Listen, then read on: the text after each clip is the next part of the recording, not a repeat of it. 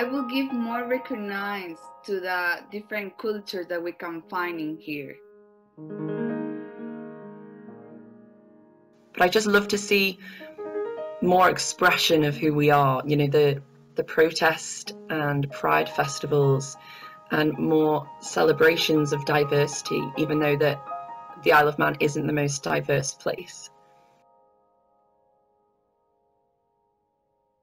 People gathering in a in a space to share their culture is is a lovely um, and, and everybody loves going to those events. Everybody loves going to the food fair. Everybody loves going to um, the carnivals. Having more opportunities for people to get together and do stuff together as a community, I think would just be lovely. And I think we all need to remember why this island is so special and we need to advocate for it. Um, you know, when people come and visit the place, there's a charm that they fall in love with, and that's not just the things to do, that's the people.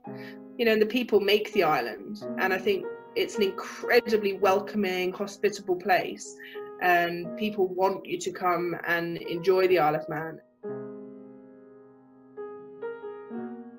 But obviously, what I would add is, you know, lots of music and art, and and um, and um, you know, place of people doing things, if you see what I mean, um, and uh, and all, and mostly sunny as well.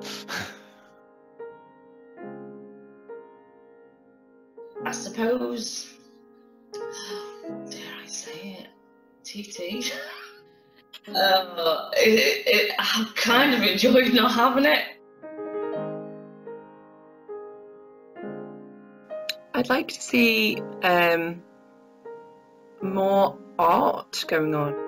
That's something I would like to see more art exhibitions or galleries. Local crafters took a real opportunity to make things that struck a chord over the the rainbow theme, key workers. Then there was this sudden rise of the, the local gifts. And I thought that's what we should have been supporting for so long.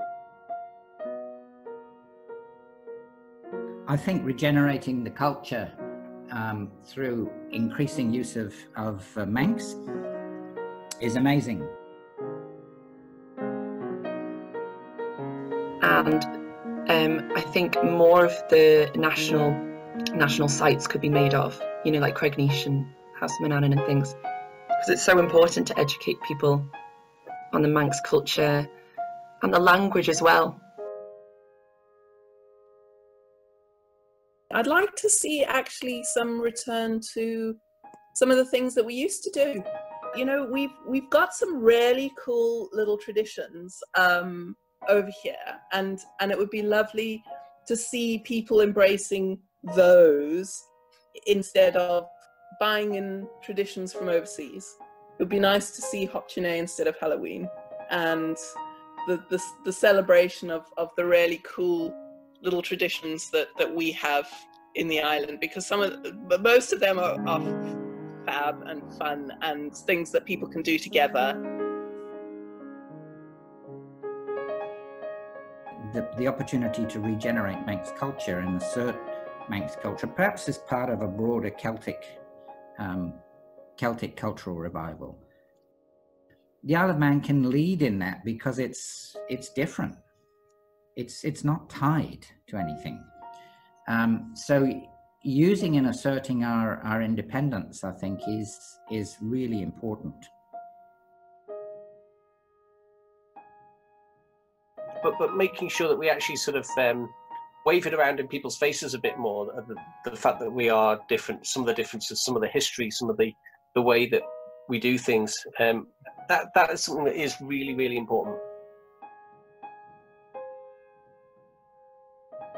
our appreciation for the conservation of of our environments um, has to be part of our culture. So we have to we have to recognise that um, the the two can't exist without each other. Being Manx should be a state of mind and it should be a state of heart. It should not be a birth certificate.